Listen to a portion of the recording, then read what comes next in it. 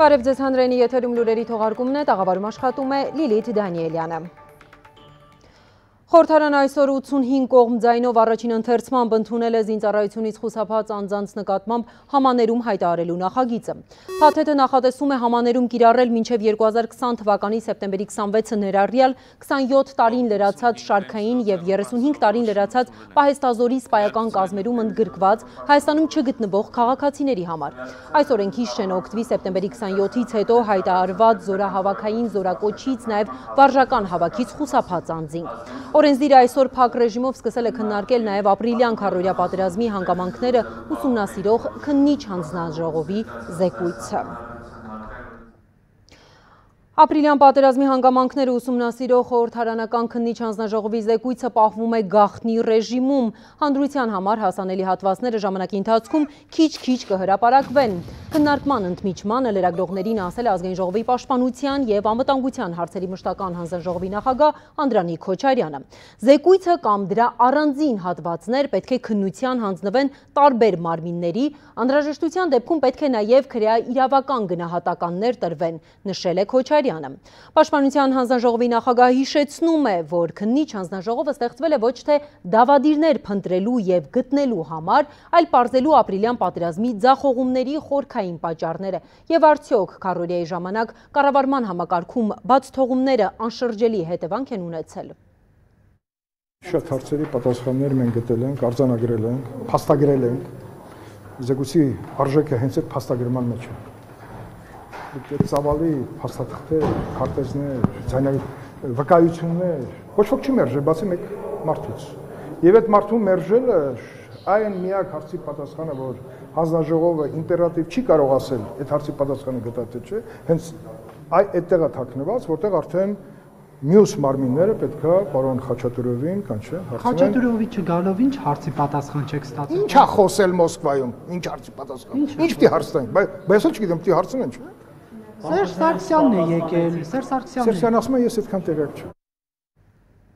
Պաշտպանության նախին նախարար Միքայել Հարությունյանի մեղադրանքը վերավորակվել է։ Հատուկ հնչական ծառայությունից տեղեկացանք, որ Հարությունյանը այժմ քրեական օրենսգրքի 300.1 հոդվածի փոխարեն որպես մեղադրյալ է ներգրավել 309 հոդվածի երրորդ մասով։ Այն է պաշտոնեական լիազորությունները անցնելը, որը անզգուշությամբ առաջացրել է ծանր հետևանքներ։ Մարտի 26-ին Սամանադրական դատարանը քրեական օրենսգրքի 300.1-րդ հոդվածը ճանաչել է Սամանադրությանը հակասող եւ անվավեր։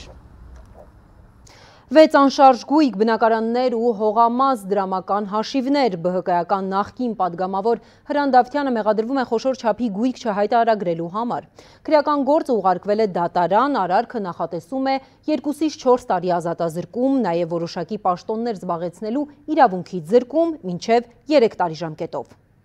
Դատարան է ուղարկվել առաջին քրեական գործը։ Պաշտոնատար անձի եւ նրա հետ փոխկապակցված անձի կողմից հայտարարագրման ենթակա առանձնապես խոշոր չափի գույք թաքցնելու վերաբերյալ։ ՀՀ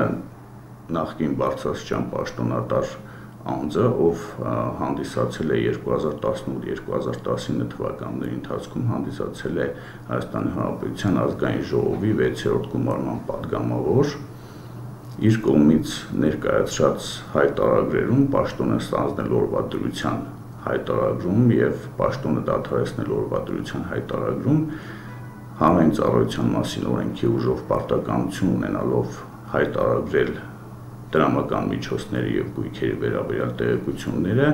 չի ներկայացրել առանձնապես խոշոր չափի գույքի վերաբերյալ տեղեկություններ Խոսքը ԲՀԿ-ական նախկին падգամավոր Հրանտ Դավթյանի մասին է։ Գործի հիմքում նախկին բարձրաստիճան պաշտոնատար անձանց կողմից Արաբական Միացյալ Էմիրություններում բնակարաններ ունենալու վերաբերյալ հետք պարբերականի հոդվածն է։ Փաստի առիթով հարուցվել էր քրեական գործ, նախաքնության համար ուղարկվել ՀՔԾ։ Մասնավորապես տեղեկություններ չեն ներկայացվել 6 անշարժ գույքի վերաբերյալ, որոնց թվում են եղել բնակարան, կիսակառույց բնակարան եւ տարբեր նպատակային նշանակության հողատարածքներ, ինչպես նաեւ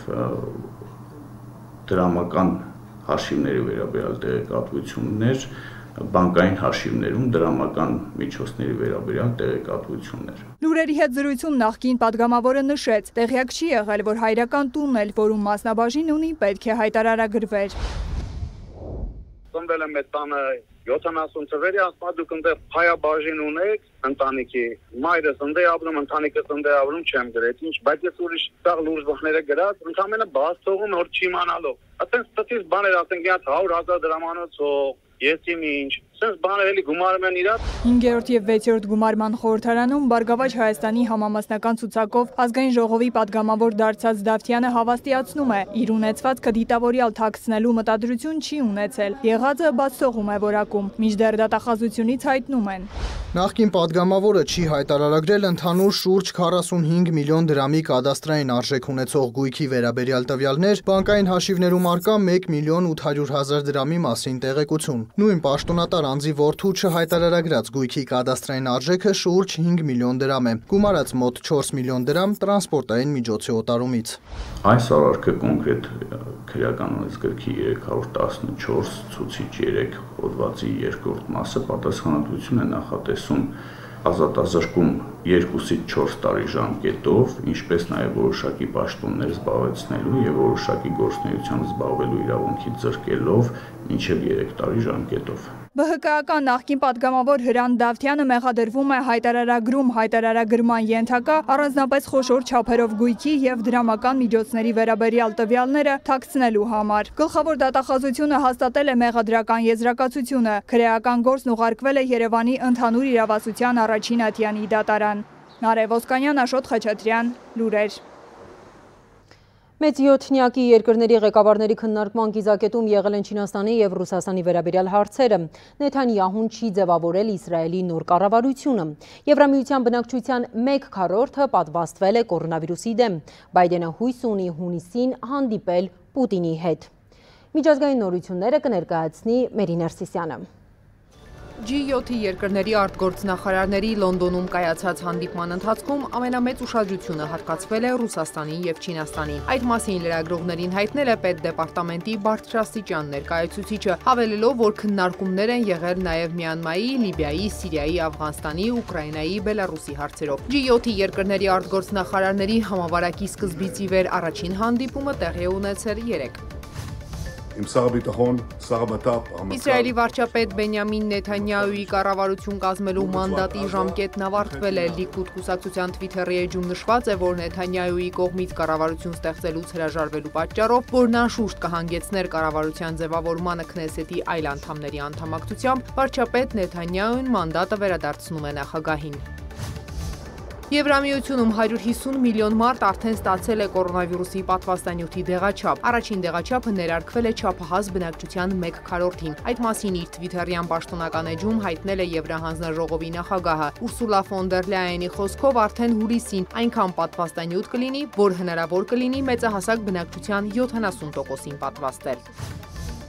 Միացյալ Նահանգները հուլիսի 4-ին այլ երկրներին կտրամադրի իր տրամադրության տակ արկա պատվաստանյութերի 10%-ը Սպիտակ տանը լրագրողների հետ հանդիպմանը հայտարարել է ԱՄՆ նախագահը։ Ջո Բայդենը նշել է, որ AstraZeneca-ի որոշակի խմբականակ արդեն ուղարկել են Կանադա եւ Մեքսիկա։ Կան այլ երկրներ, որոնց հետ Վաշինգտոնն արդեն բանակցություններ է վարում։ Ասուլիսի ժամանակ Բայդենը խոսել է նաեւ Վլադիմիր Պուտինի հետ հանդիպման մասին, պատասխանելով լրագրողների հարցին, թե արդյոք կհանդիպի Պուտինի հետ Եվրոպա կատարելիք ուղևորությունների ժամանակ Բայդենը պատասխանել է. «Հուսով եմ»։ Մերի Ներսիսյան, լուրեր։ Ազգային ժողովի նախագահի տեղակալ Լենա Նազարյանը պատվաստվել է չինական Սինովակ ընկերության կորոնավակ պատվաստանյութով։ Այս պատվաստանյութի 50 հազար անձի համար նախատեսված 100 հազար դեղաչապ Հայաստանի նորերս տրամադրել է Չինաստանի կառավարությունը։ Կորոնավակը ցուցված է 18 և բարձր տարիքի ռիսկի խմբի անցած պատվաստումների համար։ Իդեպ առողջապահության նախարարությունը հեշտացրել է պատվաստման պրոցեսը, անկախ նրանից, թե քաղաքացին որտեղ է գրանցված, կարող է զանգահարել իր նախընտրած պոլիկլինիկա, հերթագրվել եւ անվճար պատվաստվել կորոնավիրուսի դեմ։ Սպուտնիկ V-ով կորոնավիրուսի դեմ պատվաստվել է նաեւ փոխվարչապետի պաշտոնակատար Մհեր Գրիգորյանը։ Արցախ է հասել 15000 չափաբաժին Սպուտնիկ V 7500 քաղաքացու համար։ Կպատվաստվեն նախ ռիսկի խմբերին։ Այսօր արդեն պատվաստվել է 89 մարդ, 74-ը Ստեփանակերտում։ Պատվաստումները իրականացվում են երկու դեղաչափով, 21 օր ընդմիջումով։ Քաղաքացիներին տրվում է վարակի դեմ կանխարգելիչ պատվաստումների հավաստագիր։ Արցախից պատմում է Նարեկ Սահակյանը։ Արցախում եւս սկսել են պատվաստումները Սպուտնիկ V-ի առաջին մեծ խմբականակ նորերս է հասել Ստեփանակերտ։ Առաջնահերթությունը բուժաշխատողներին ու բնակչության հետ առավել շատ շփվող խմբերինն է։ Հիմա չեն կարող ասենք պարտադիր, բայց ցանկալի է եւ պետքա նշենք, որ այն հիվանդները, ովքեր այն մարդիկ, ովքեր հիվանդացել են COVID-19-ով, իրանք 3 ամսից հետո կարան արդեն ստանան պատվաստումը։ Արցախի հանրապետական բժշկական կենտրոնի մասնագետներն առավոտից պացիենտի կարգավիճակում էին։ Օրական տասնյակ մարդկանց ընդունող նյարդաբան Ռոբերտ Ղազարյանն առողջական խնդիրներ ունի, բայց COVID-ից արդեն ապահովագրված է։ Բոլորս գիտենք, որ տարիքի հետ մարդը դառնում է զգայուն բոլոր վարակների նկատմամբ, հատկապես այնպիսի համավարակի, որը փաստորեն գրավել է աշխարհը։ Այդ պատճառով էլ որոշել եմ պատվաստվել։ Շուշիի տեխնոլոգիական համալսարանի ռեկտորը հիվանդացել է, բայց լսել է, որ կրկնավարակի վտանգ կա։ Սա ըստ էության հրամայական նորվա, որովհետև ես չեմ կարող վտանգի ենթարկել այն երեխաների առողջությունը, որի հետ շփվում եմ։ Արցախում վարակակիրների ընդհանուր թիվը մոտենում է 2700-ի։ Այս պահին ստացիոնար բուժում է ստանում 21 վարակակիր, իսկ ինչպես են պատվաստում ստացածները գնահատում է բժիշկը։ Լավ վիճակում է եւ հսկողությունը իրականացում է համապատասխան թերապևտի կողմից։ Նարեկ Սահակյան, Ներուժան Հայդապետյան, Լուրեր, Արցախ։ Հայաստանում հաստատվել է կորոնավիրուսով վարակման 493 նոր դեպք 3954 թեստից։ Վարակվածների ընդհանուր թիվը հասել է 217900-ի։ Առ այսօր արվել է 1 միլիոն 909 թեստ։ Կորոնավիրուսի հետևանքով մահացել է 13 քաղաքացի։ Մահացածների թիվը 4178 է։ Կորոնավիրուսով վարակվածների այլ հիվանդությունից մահվան նոր դեպք չի գրանցվել, նման դեպքերի թիվը 1029 է։ Մեկ օրում առողջացածների թիվը 452 է, ընդհանուր առողջացածներինը 201 11559, փաստացի բուժվողներինը 11134։ Երևան է տեղափոխվել եվս 3 հայ ռազմագերի, ինքնաթիրը Երևանի Երևունի օթանավակայանում վայրեջք է կատարել 3 ուշ երեկոյան։ ԵԱՀԿ Մինսկի խմբի համանախագահ երկրների ջանքերով եւ միջազգային հանդրության օրեցօր աճող ճնշման պայմաններում է Ադրբեջանը վերադարձրել հայ ռազմագերիներին։ Լիահույս ենք, որ այս գործընթացը կունենա իր տրամաբանական շարունակությունը եւ շուտափույթ ավարտը, հայտնել են փոխվարչապետի պաշտոնակատար Տիգրան Ավինյանի գրասենյակից։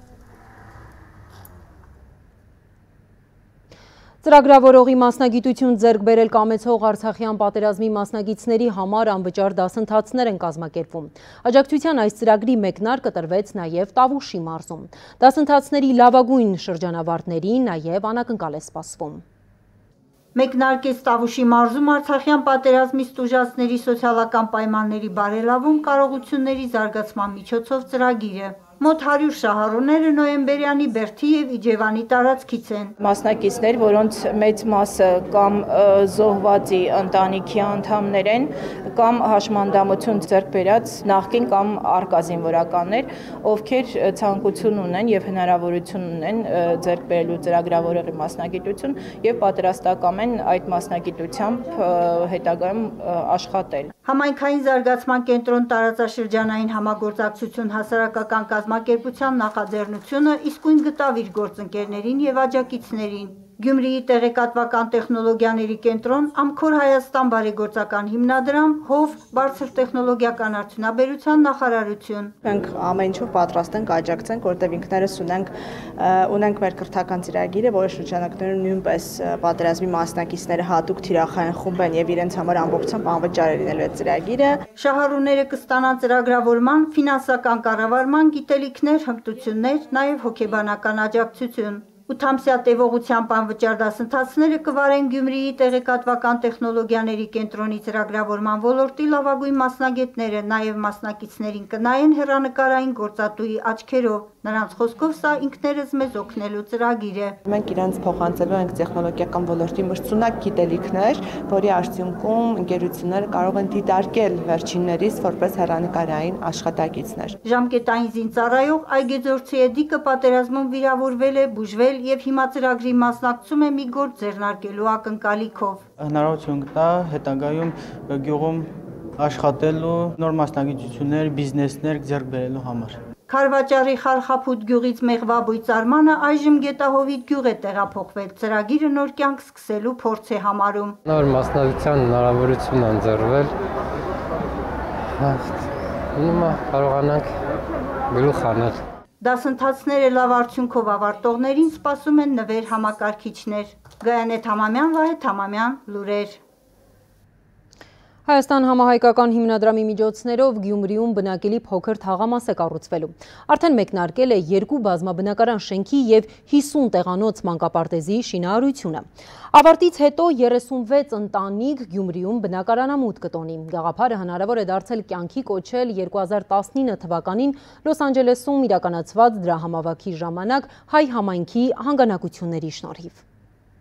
Գյումրու մուշ թաղամասի կենտրոնում ավագանու որոշմամբ շուրջ 60 հեկտար տարածք է հատկացվել Հայաստան համահայկական հիմնադրամին մեր Գյումրի բնակարանաշինական ծրագիր իրականացնելու համար։ Ծրագիրը մեկնարկել է առայժմ երկու բազմաբնակարան շենքի եւ կից մանկապարտեզի շենքի շինարարությամբ։ Ծրագիրը ունի նորի շարունակություն, դա դերևս առաջի երկու շենքերն են, որ կառուցվում են։ Շենքերը արդեն աշխատանքները սկսված են, հիմա հողային աշխատանքներն են սկսվել, արդեն հիմնային աշխատանքները սկսված են։ Կառուցումը մեծ թափով ընթանում է եւ նախատեսում է մի տարի ու կեսվա ընթացքում ավարտել շենքը։